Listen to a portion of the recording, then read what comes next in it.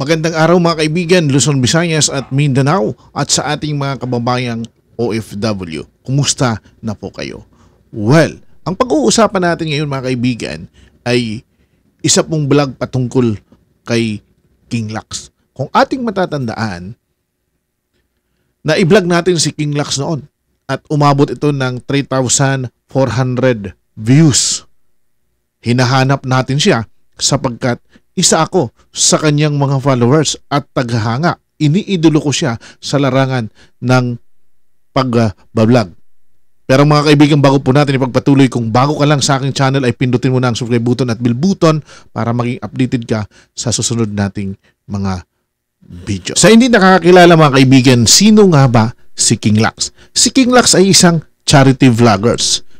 At sa kasalukuyan, ang kanyang subscribers ay umaabot na sa 1 1.07 million subscribers. At ito ang nakakapagtaka sapagkat ang pinakahuling vlog niya ay nung nagkakaroon siya ng head count papunta sa 1 million uh, na subscribers. Ito ang pinakahuling vlog niya. At sa kasalukuyan ay hindi na natin nakita. Tatlong buwan na ang nakalipas. Sumikat si King Lux sa pagiging charity vloggers. Isa sa pinaka tanyag na kanyang ginawa ay yung nagbigay siya ng kalabaw. Ayan, makikita natin dito, mayroon siyang binigyan ng kalabaw. Uh, bigay kalabaw. Isang magsasaka ang kanyang binigyan ng kalabaw. Na-feature siya sa GMA kay Jessica Suho at dito lalong umusbong at bumuhos ang kanyang subscribers. Subalit, tulad yung sinasabi natin, ang nakapagtataka, huminto siya. Kaya't nabinbin ang katanungan, nasaan na nga ba si King Lux? Sa pagpapatuloy mga kaibigan ng ating uh, paghahanap ng kasagutan, ay hindi inaasahan na makita ko siya sa isang Facebook uh, post. Ang ikinagulat ko, nalaman ko na si King Lux pala ay isang taga-Samar. At sa kasalukuyan ay nasa isang bayan siya ng Northern Samar kung saan ay taga din ako. Kita mo naman, parehas pala kami waray-waray.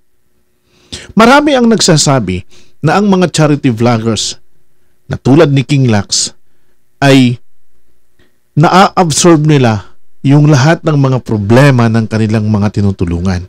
Kaya't ang nangyayari, dumarating talaga sa punto na humihinto sila sa pag-vlog. Ilan sa ating mga charity vloggers ang huminto at hinanap natin? Jose Lorena, sikat na vlogger na wala din. At ngayon, ito si King Lux. Subalit, sa pagkakataong itong mga kaibigan, sasagutin natin kung ano nga ba ang nangyari kay King Lux. Well, sabay-sabay natin panoorin ang video na ito na akin pong nakuha, nakita sa isang Facebook post. Ito po mga kaibigan ay uh, uh, isang Facebook post po uh, ng isang uh, followers niya, isang uh, masugid na na followers. At uh, atin pong pakinggan ang kanyang mga sinabi. Hindi na pala ako mag-video. Hindi na ako gagawa ng ng mga experiment. Kasi tingin ko, okay na yun. Nagawa ko na yung parang part ko bilang isang tao. Bilang isang ano na, yun nga, na umano sa video. So, dito mga kaibigan, pinaliwanag niya, no? Nagawa na daw niya yung kanyang part. Kumbaga, parang ando na siya sa highest peak ng kanyang, uh, uh, ng kanyang goal sa pagbablog. Nagawa na niya. So, uh, yun ang dahilan kung bakit uh, sabi niya, hihinto na siya sa pagbablog. Tuloy po natin. Um, pasensya na pala. Gusto kong humingi ng sorry kasi baka hindi nyo na ako makita sa sa social media sa dito sa Facebook pati sa YouTube. Wow. Alam niyo mga kaibigan, ito yung nakakapagpat nakaka nakakapagtakang ah, paliwanag niya eh. Kasi alam nyo, ah, 1.07 million subscribers ang laki na nun. Sa YouTube mga kaibigan, sa Facebook, ah, kung hindi ako nagkakamali, almost ah, 3 million ang kanyang followers doon. Kaya gusto ko na lang kunin yung chance na to para magpasalamat. Wala na kayong ma- makikitang video galing sa akin galing kay King Lux. Um, hindi ko alam, parang siguro tingin ko hanggang dito na lang ako. Ano kaya yung ano no? Ano, ano kaya yung pinaka malalim na dahilan?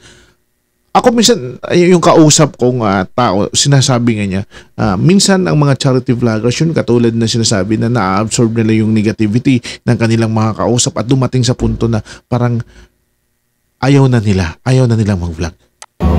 Kaya yun. Um, gusto ko pasalamat sa simula sa umpisa sa, sa mga tao, sa mga subscriber, followers, kagaya mo na nanonood. Mhm. Simula pa ng pinakauna kong video, mga, mga prank, mga kalokohan, Oo. hanggang sa nagkaroon tayo ng experiment, hanggang sa ito na nga, um, na tumu- nung tumutulong-tulong na rin kahit paano. Yun, salamat sa pag-share ng mga videos natin, pag-like, pag-react, pati pag-comment na rin. Thank you. Yun, gusto ko sabihin sa inyo na hindi na tayo mag-upload ng mga videos. Ito na yun. Ano, ano, ano, ano kaya ang dahilan? I, i- i- ano ba to? Parang prank lang ba ito? Ang, ah, ang, ah, pero seryoso naman siya mga kaibigan eh. Seryoso siya eh. Tingnan natin.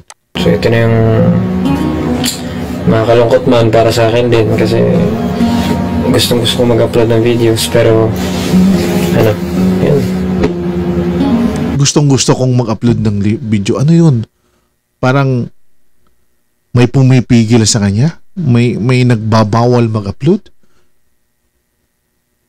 Ano a- ano talaga ang dahilan? Patuloy tayo. Wala eh. Salamat. Sensya na ngayon ako nagsabi sa inyo. Mhm.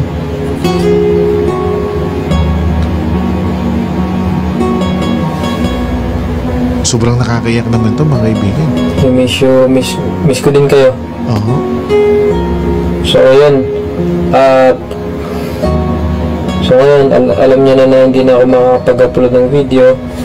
Yun, salamat. Salamat, salamat lang talaga. Hindi ko makita mga comments nyo. Ba't ganun? Alam niyo mga kaibigan, kung titingnan natin yung kanyang mukha, no, siyempre, malungkot siya eh. Napakalungkot siya. Yung parang, ah, parang pakiramdam ko, parang ano, parang, parang ano yun, ah, ano ang dahilan kung bakit ihinto niya? Kasi parang, parang hindi din naman niya gustong, ano eh, parang hindi niya gustong tumigil. Na makikita natin yun sa, sa reaction ng kanyang, ah, sa facial reaction ng kanyang mukha. Wala akong makitang comment nyo. So, salamat pala sa lahat. Sa lahat ng sumuporta sa akin. Oo. Siguro ilang minutes na ba to? Di-delete ko na rin tong live.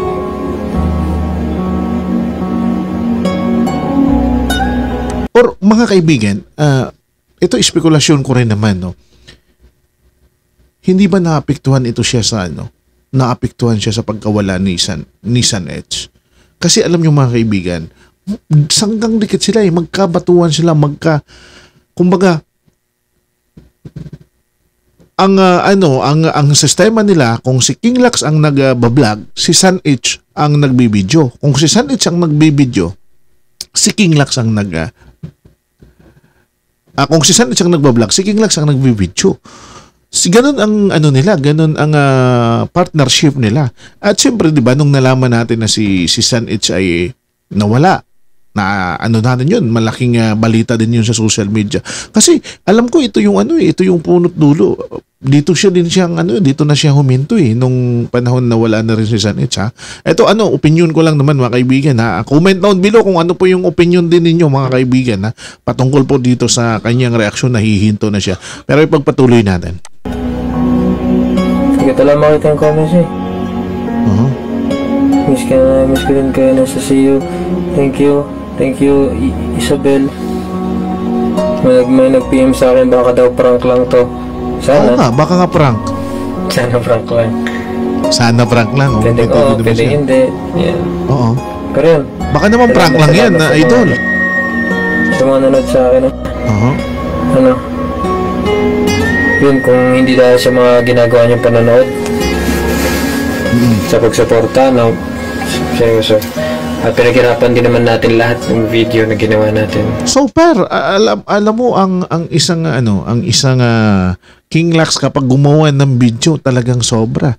Mga kapatid kasi talagang ah, pumupunta siya sa mga malalayong lugar o sa mga liblib na lugar at yung social experiment na yan, alam nyo, hindi basta-basta yan. Ang hirap gawin ang social experiment na video kasi maghahanap ka ng maghahanap ka hanggang sa makita mo yung tamang tao na bibigyan mo. Napakahirap ng kanyang ginagawa. At talagang deserve din naman niya. Umabot siya ng 1.0 million subscribers. Pero bakit nagkaganito?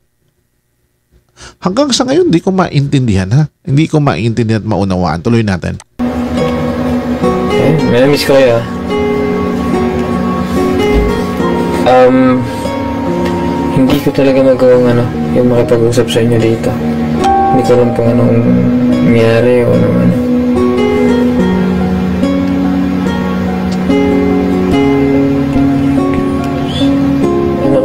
So yun lang.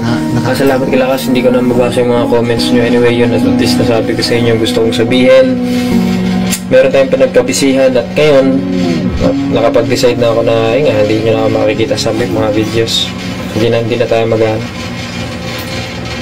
hindi na tayo mag-upload ng video So wala na. salamat salamat sa inyo mag-iingat kayo palagi ha uh, na-miss ko kayo seryoso yan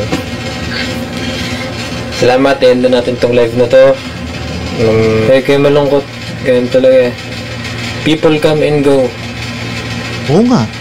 Totoo yan, maalis yung tao, may lumadating, may maalis, may lumadating ulit. Yan. So, mag-ingat kayo palagi ha. Um, na, gusto ko rin salamat sa mga napaiyak natin, napa, napalungkot natin, napaluha, napatawa sa mga videos natin. Lang, maraming salamat sa inyo. At, uh, sobrang grabe mga kaibigan, sobrang nakakadurog ng puso. Una, nakakapagpata- nakakapagtaka katulad niya kanina pa tayo nagtatanong bakit nangyari ang ganyan, bakit ah, nagkaganon.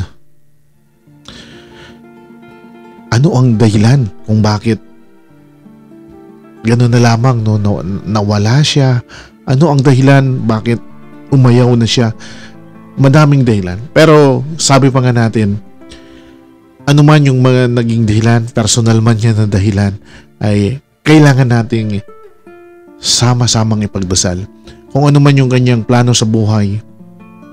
Imagine mga kaibigan, ang hirap gumawa, mag-build ng community. Napakahirap, napakahirap gumawa ng ganyang klaseng community. And then all of a sudden, eto na. Pero tulad ng sinabi, nakakalungkot man, desisyon nyo yun. Sana lang ah, ah, ka, ah, kalakas, King Lax, kabayan, sana lang ay hindi mo i-delete ang ah, channel mo para kahit papano ang mga katulad naming vlogger na humahanga sa iyo, ang mga maliliit na vlogger na na bumilib at nag uh, nag-idolo sa iyo ay meron kaming pupuntahan sa panahon na ah, na bumababa ang ating ah, sorry, ang aming moral sa panahon na nawawalan kami ng gana sa pagbablog. May isang lugar kami, may isang King Lux kami na pupuntahan na kahit papano ay magbibigay sa amin ng inspirasyon para patuloy na lumaban at magpatuloy sa karera ng YouTube. Mga kaibigan, ano sa tingin nyo ang pinakamalalim na dahilan?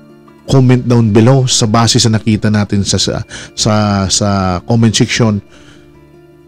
I-comment nyo please mga kaibigan. I-comment nyo kung ano ang pinakamalalim na dahilan. Bakit ganito or nasabi o nag-quit or umayaw si King Lax. Well, isa lang po sa pinagdadasal natin. Sana temporary lang ito. Sana pag okay ng lahat, makita pa rin siya makita pa rin natin na andyan pa rin patuloy na tumutulong sa mga nasa laylayan ng lipunan. Kabayan, mabuhay ka. Pinagdadasal ko ang tagumpay kung ano man ang landasin na iyong tatahakin. Ako po si Taong Gala mga kaibigan. Sana po, kung sakali man lang, hihingi din lang ako sa inyo ng isang pagmamahal. Subscribe, i-like, at comment down below para po sa video ito. Miguel love shoutout po mga kaibigan sa ating uh, mga kapatid dyan. Ang ating team Ayuda Revive. Of course, uh, Ate Ligaya, NSB Official, uh, Jevian, uh, Teta Mel TV, at yung iba pa natin kasamaan si Merly. Merly, uh, Merly Vlog, Miguel love shoutout sa iyo. And sa iba pa nating mga kasama na nandyan. And of course, uh, Miguel love shoutout to Boss Rapi Mapagmahal, uh, Angel, and of course to Badsy.